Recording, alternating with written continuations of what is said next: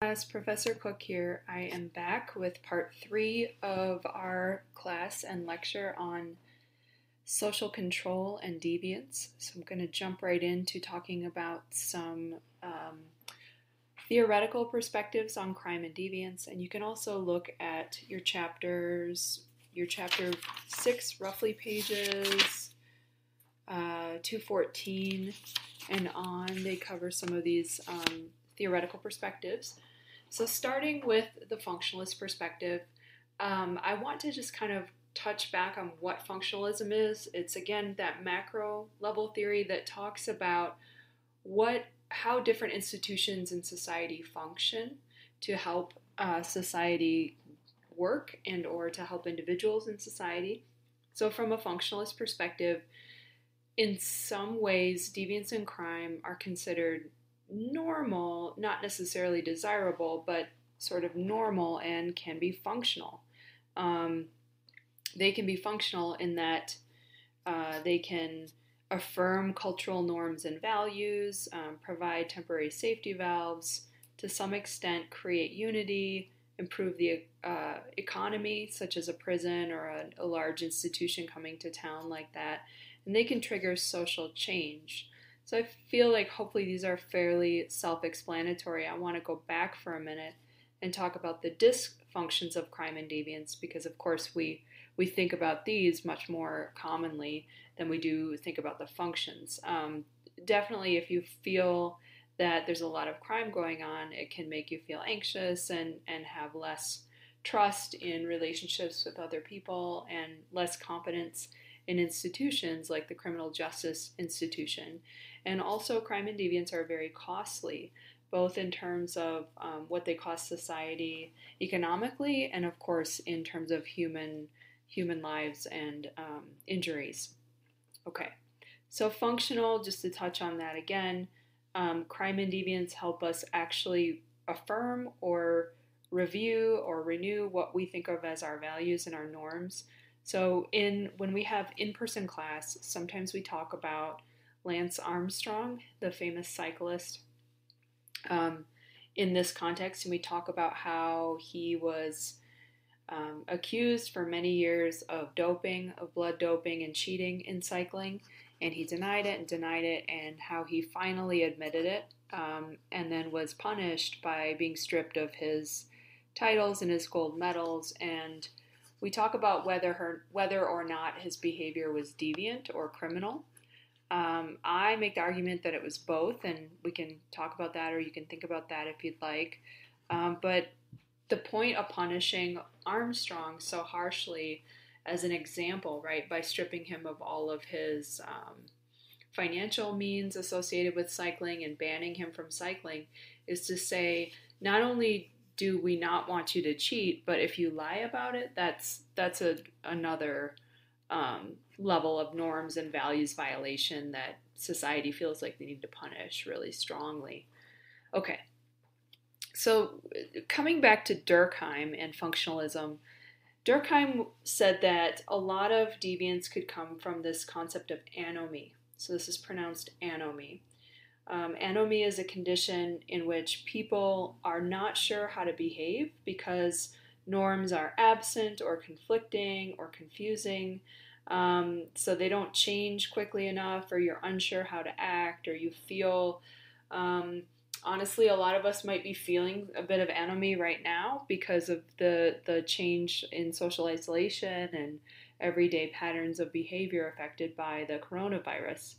Um, and we're confused sometimes about norms, like what what are we supposed to be doing? Should we be going outside? Should we not? Right? Um, they've been fairly clear about this, but uh, in the beginning of this this social isolation time, they were there was kind of mixed messaging happening, right? And change was going really quickly, and all of us had to sort of figure out what class was going to look like, etc. Okay, so anomie is describing um, it, I, it's not depression, but it's I think it definitely has the implication of having um, personal angst and personal anxiety and depression and not feeling connected to society um, because of confusing or conflicting norms. Okay. Um, moving on, anomie was important to touch on, but I want to spend a little more time talking about Merton's strain theory. Okay, so Merton picks up from Durkheim on this concept of anomie. So before I get into strain theory, I want to discuss how sociologists and how social how psychologists, excuse me, tended to understand deviance prior to the 1950s and prior to Merton's um, strain theory.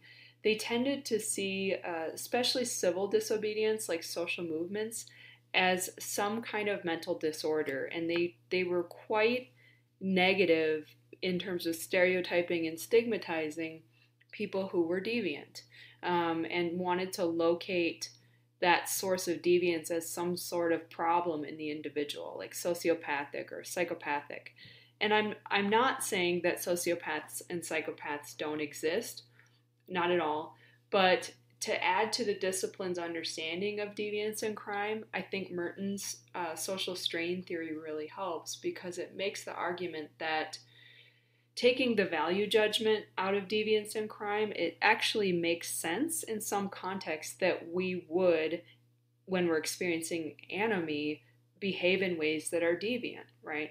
So, all of that is to say, in the past, the way deviance was viewed was very negative and stereotyping of the individual who committed the deviant act. And after Durkheim and then Merton, deviance started to be put in a context um, that it was sort of a product of society's pressure that it put on individuals. So, strain theory uh, by Merton here means that an individual, or he's saying an individual, feels some kind of strain or pressure uh, put on them by society, and there's a conflict between their goals and their means that society has um, socialized them to want or have access to. Okay, I think this will make sense in a minute. And again, we're not talking about extreme violent situations or serial killers or something like that. In this context, we're talking about sort of more of the average um, everyday sort of deviance. Okay, these are important for you to know and understand. I definitely will be asking you to recognize these on the exam, and I'll definitely be asking you to um, apply the correct term to an example. So I'm going to try to explain this clearly. The thing to ask yourself when you're trying to decide which adaptation to strain we're talking about is what is the individual's goal in this situation and what are the means that they have to achieve that goal. Okay? So, as your book says, and as Merton said, most of us are not deviant from this perspective. This does not mean we don't break the rules sometimes and run a red light or drive too fast or whatever. That's not what we're saying here. Merton is saying overall, we tend to be conformists. Society tells us you know, messages like to have a good life, you should go to college and work hard and save money and then accomplish the goal you want of a home or family or fancy car or vacation or whatever what have you. So in that in that situation, I guess I'm thinking about vacation a lot right now. I think we would all like to go somewhere other than our house. Um, okay, so um, the goal here would be a socially accepted goal of having a good job and a, maybe, let's say, a home, being a homeowner. And the means are also socially approved that I walk through. If you're a conformist, you um, go to college, get a good job, save money, right? So, socially accepted goals and socially accepted means. If those line up, that person is not being deviant, they are conformist. Okay. Where where it gets interesting is when there is uh, something different there in the goals and the means. Okay, so for Merton, if an individual so accepts the goals that society tells them they should have, but they reject the means or don't have access to them, so they use other means that are not um, that are not appropriate, but deemed appropriate by society. That person is an innovator. Okay, so the example might be um, I want, I know I need to have a college degree, right, to get a job, but instead of working for it, maybe I pay someone to print me a counterfeit degree. That person would be an innovator, okay? A ritualist is a person who rejects the goals of society but accepts the means. This one's a little tricky for people to understand, but I always think of the character Stanley from The Office. I don't know if he rejects the goal because his goal is retirement, but he's really, it's really clear that Stanley does not care uh, about the quality of his work or he's too demoralized to really, you know, put much effort into into his work and he's sort of just waiting out the days until he's he gets his retirement. So, again, a ritualist uh, rejects the goal but accepts the means. In your book, they talk about um, individuals who who maybe uh, don't buy the home or don't have a family, but they still go to work and kind of kind of go through the motions, right? They um, they don't necessarily internalize those socially approved goals, but they they aren't out there causing crime and and being um, being deviant and disruptive. Okay. A retreatist is a person who rejects goals and means and maybe goes to live in the woods or off the grid or really changes uh, their lifestyle dramatically. A retreatist is not a rebel. That's where people get confused. So, the difference for Merton in these definitions between a retreatist and a rebel, or retreatism and rebellion, is a retreatist is like, I'm leaving. I don't care what the rest of you do, but I'm not going to work nine to five and just to buy a big house and have a mortgage um, for the rest of my life, right? A retreatist is, I'm going to go live in a van uh, down by the river. And for those of you who get that from Saturday Night Live 20 years ago, 25 years ago, congrats. Um, right? A rebel, on the other hand, wants to change society for everybody. So a rebel like uh, Che Guevara, who is uh, mentioned in your textbook, wants to replace capitalism with socialism, um, really wants to dramatic, dramatically change our social structure. You might make the argument that candidate and Vermont Senator Bernie Sanders, you could kind of consider that person a rebel, but he's doing it through a really socially accepted goal of running for Senate, being in government, and running for president. I mean, I know he has dropped out at this point, but I'm not sure if I would put him in the rebel place. If he if he refused to run for president and said, "I think we should seize the means of production from the capitalists and um, overthrow the government, etc., that that might be a different a different um, categorization for him. Okay, conformist, innovator, ritualist, retreatist, rebel. Make sure you understand stand those, and just to have a little practice um, for you, here is here are some examples. So just read through these and see if you get them um, correct. Hopefully, they make sense. The last one on this slide is a little bit tricky because it says a man uses his employer's equipment and supplies when starting his own business. I think that you need just a little bit more information on this one. If the man does not have permission to use his employers and equipment, that person is an innovator. If the person does have permission, like let's say it's his father's business and he wants to kind of um, step out on his own, but he has his dad's permission, then he's a conformist. Okay, so that last one is just slightly tricky if you don't have a little more information. I would not be quite that tricky on an exam, okay? I just want to make sure um, that you know that. Oh, I guess we forgot to put the, the answers in the slides. Okay, so I'm going to say the answers next. So pause it if you want to practice on your own.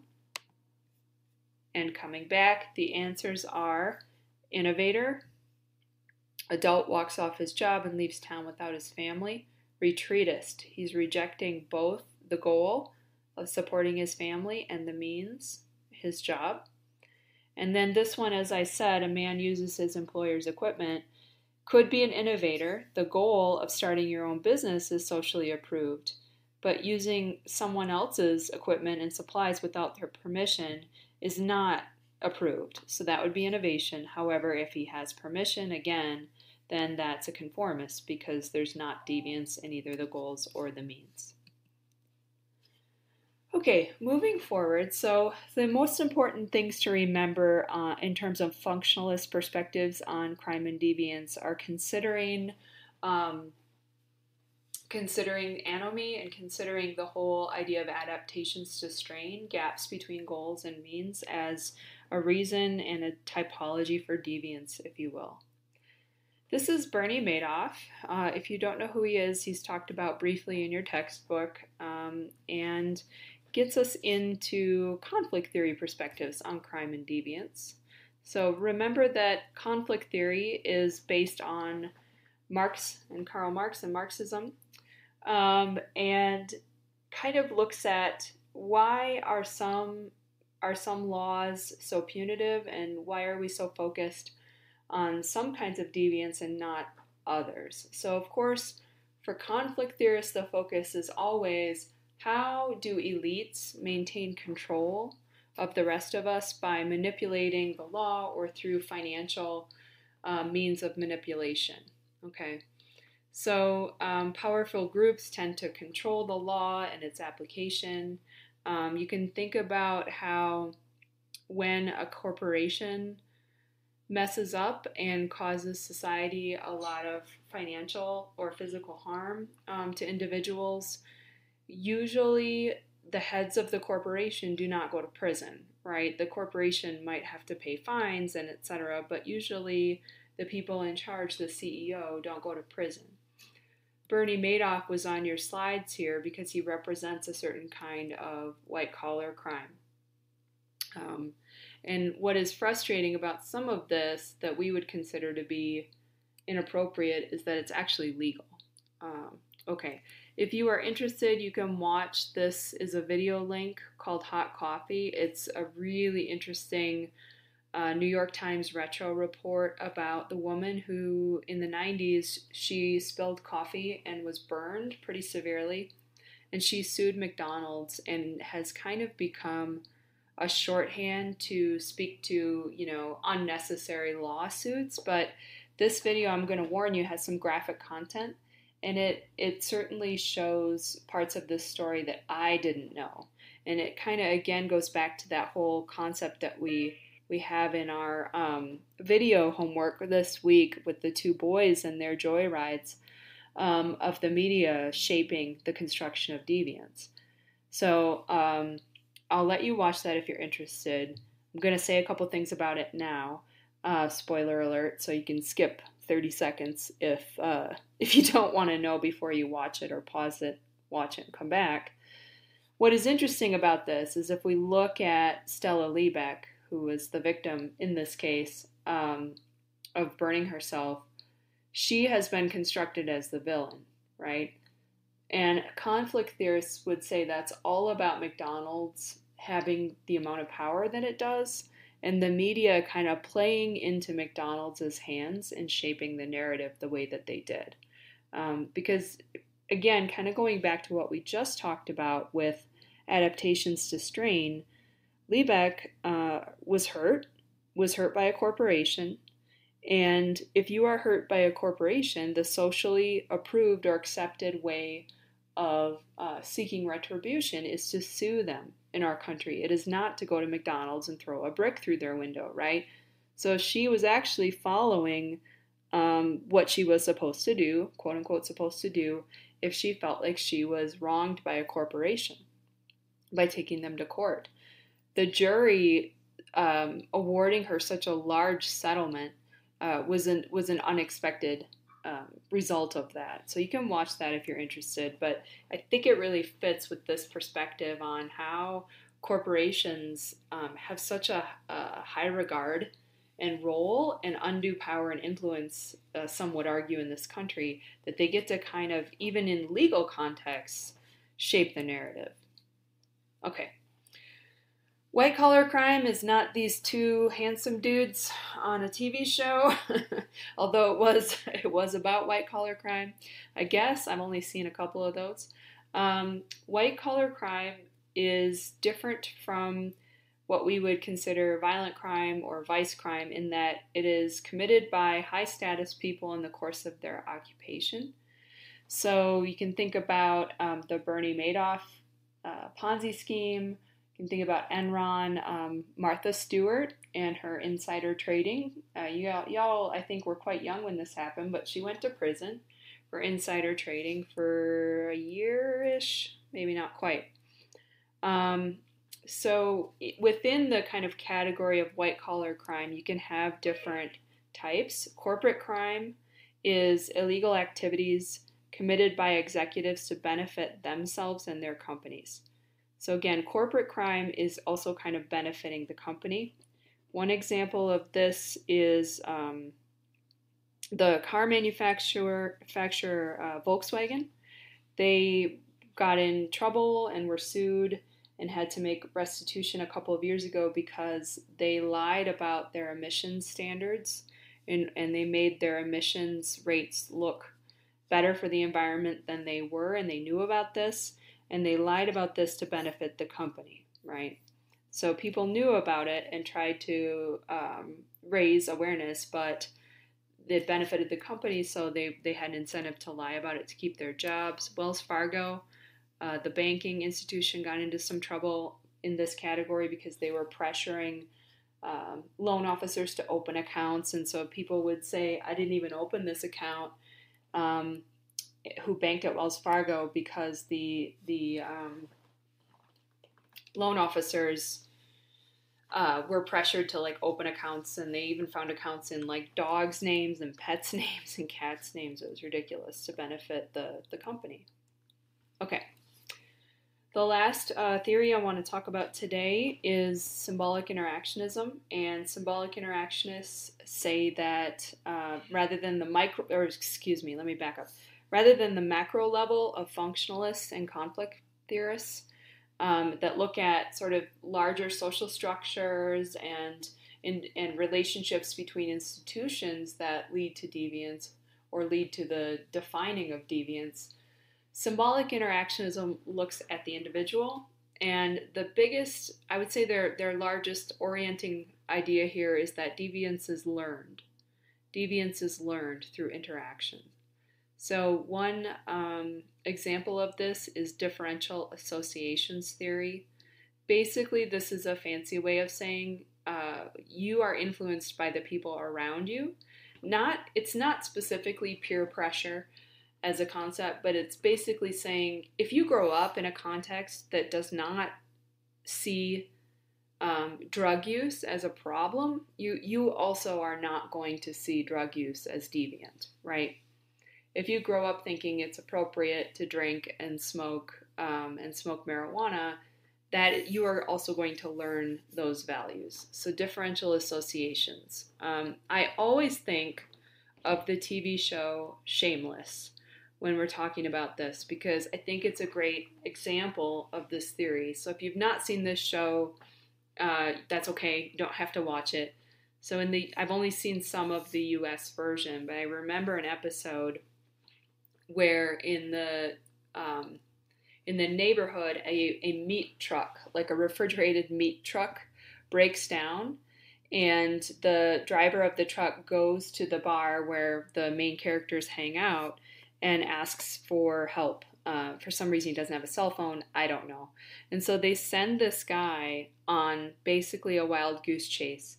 And then everyone in the neighborhood comes out and strips and steals all the meat from the truck by the time the guy gets back to it. And they're hiding it and they're cutting it up and they're trying to figure out, you know, what to do with it. And um, it just, to me, it really illustrates this because the people who are participating in this group act of neighborhood deviance, they're not thinking of it as stealing. They're thinking of it like sort of like winning the lottery, right? Like, oh, this truck broke down. Of course we would do this. Of course we would. This is just how you get by in this neighborhood. So, very different um, construction of those values. Another important concept to add here, and this goes back if you have not watched the videos of the two boys um, taking cars on joyrides. Now is the time to go watch that and then come back. Um, because labeling theory, I think, really applies to those situations. And I'm going to reference those two examples um, as I explain labeling theory. Labeling theory essentially is picking up on that symbolic interactionist concept of interactions, creating meaning around the deviance. So the primary deviance here would be the initial deviant act, the violation, the law breaking, and then there's an interaction about that that creates meaning and possibly some internalization of labels for the individual. And then secondary deviance occurs after that. So, an example that we might think about is um, let's say when you're a young person, you oh, this is common, you know, kids might shoplift, right? And so the first act of deviance is possibly the the kid shoplifting, and they get caught and they get labeled a criminal and a juvenile delinquent and all these really negative terms, um, and they're judged really harshly and very punitively. Instead of um, kind of letting go of that, the child or the person may internalize that label and start to think of themselves and in that way um, in that way, and then that label kind of becomes part of their identity. So then the secondary deviance occurs after that. So you can possibly think of someone that you knew growing up, growing up um, who was labeled this way and then kind of leaned into that, if you will, and decided, well, if you're going to call me, you know, a deviant, then I'm really going to be a troublemaker. I'm really going to be deviant. Um, so back to the joyriding examples from the the two boys that we that we looked at. Hopefully, you looked at. You can think about the difference in the words that are used to describe Preston, the first child, um, who was on the Today Show for doing this, and I know he didn't run into things and cause damage. Uh, Preston is described as kind of an every kid, like, uh, oh, any kid could do this. You never know. They just he just had a a wild hair or he had a he had a random idea and he did something naughty, right? His cotton candy everyday kid. You can think about that versus the way that Laterian was described in the second video.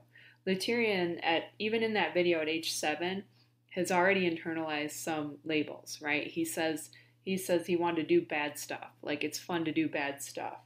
So he has not had the benefit of what I assume was some impression management coaching by Preston's parents before being on the Today Show, right? He, Laterian is just reacting. And I honestly don't think it's legal to be showing him on TV without permission from his parents or guardian. Um, I know that he was featured on some other popular culture shows, and so I'm aware of that. And I think he recently did get into um, some more trouble as an adult. So you kind of think about labeling theory in the context of those two kids and whether or not um, that same thing would have happened for Laterian had he had a different reaction to that that initial act of deviance. I know the situations were different.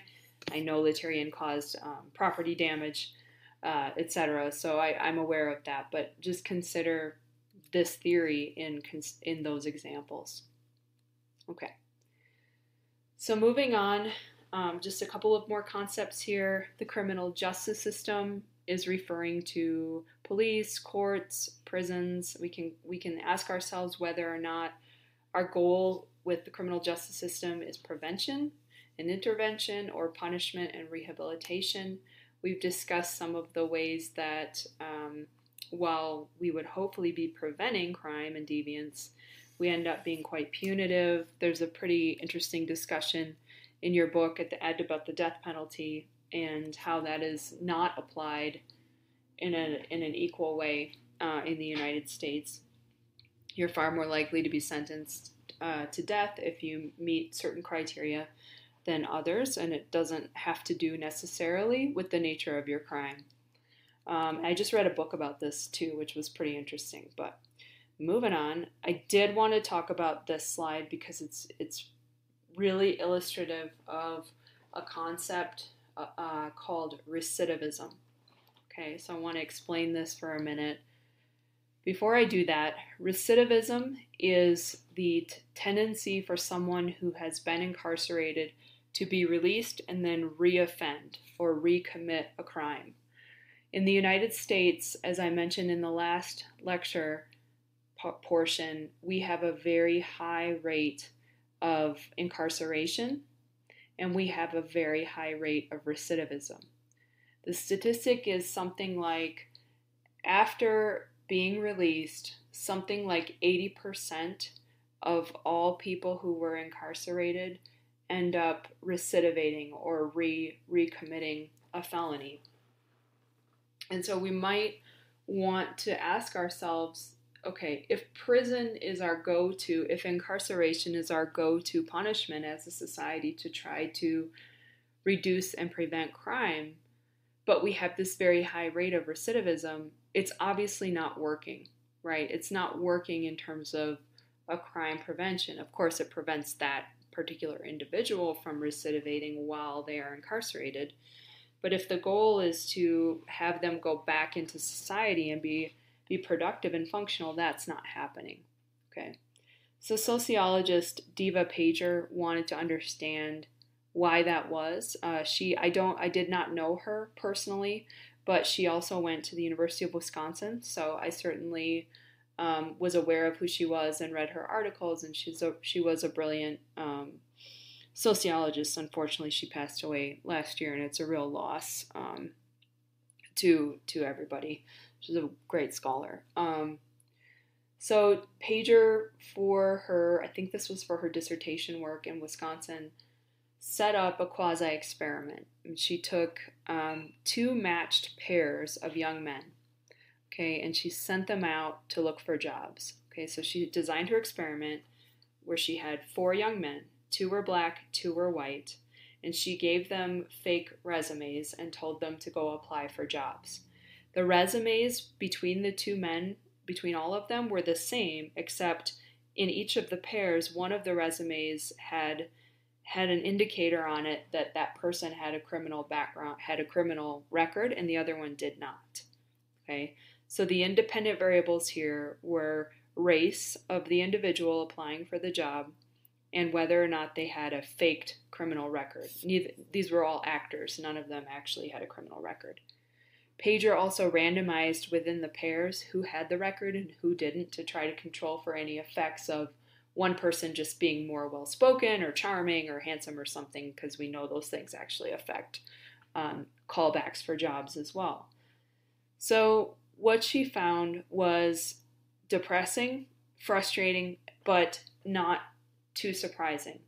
Um, she sent these individuals out to apply for jobs, and out of all of the applications, 34% of white men without a criminal record were called back. Okay, so it's not surprising that people without criminal records would be called back more than people with criminal records. What is surprising and frustrating and um, very troubling is that white men with a criminal record were called back at a higher rate than black men without a criminal record. Okay, let's say that again. What this is showing us is white men with a criminal record were called back more often than black men without a criminal record. This is showing there's evidence here that the out what you can conclude from this is that both the status of the individual and the race interact to produce a different kind of discrimination. Okay.